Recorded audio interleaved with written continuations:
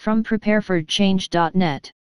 Population Control Alert Ibuprofen is a tool of Agenda 21. By Edward Morgan.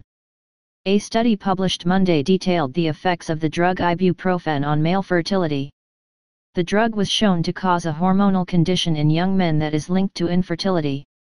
According to CNN, a study published Monday in the journal Proceedings of the National Academy of Sciences found that when taking ibuprofen in doses commonly used by athletes, a small sample of young men developed a hormonal condition that typically begins, if at all, during middle age. This condition is linked to reduced fertility, which some say makes ibuprofen perfect for Agenda 21's population control. Joe Joseph of the Daily Sheeple says he's been vindicated. I feel vindicated today.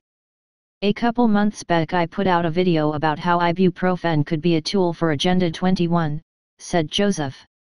Joseph's take on Agenda 21 is accurate. According to the United Nations website, Agenda 21 is meant to be sustainable development. But of course, it's dictated by the elites, and one goal is to concentrate the population into megacities. People crammed together in tight quarters are easier to control and manipulate than those living more rurally. We've seen a lot of issues with this class of drugs known as NSAIDs, says Joseph. Sold under brands such as Advil or Motrin to help reduce swelling, to help reduce pain in people, you know, an over-the-counter drug. And the Consumer Health Product Association, a trade group that represents manufacturers of over-the-counter medications, says that they support and encourage continued research and promotes ongoing consumer education to help safe use of over-the-counter medicines.